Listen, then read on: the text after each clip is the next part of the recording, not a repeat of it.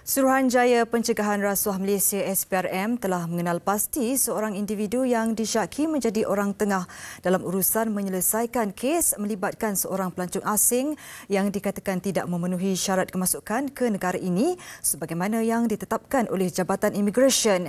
Individu berkenaan yang bertindak sebagai ejen dikatakan telah meminta wang rasuah sebanyak RM18,000 bagi menyelesaikan kes terbabit.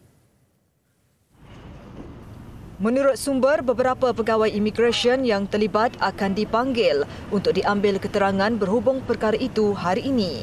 Setakat ini keterangan tiga saksi termasuk Menteri Pelancongan, Seni dan Budaya dan dua saksi utama warga Cina telah diambil.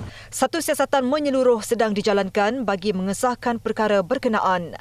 SPRM memandang serius isu rasuah yang dikatakan berlaku di KLIA baru-baru ini. Sementara itu, Ketua Pesuruhjaya SPRM Tan Sri Azam Baki ketika dihubungi mengesahkan kes disiasat di bawah Seksyen 16 Kurungan A Akta SPRM 2009 Beliau menggesa semua pihak untuk tidak membuat sebarang spekulasi dan memberikan masa bagi SPRM melengkapkan siasatan.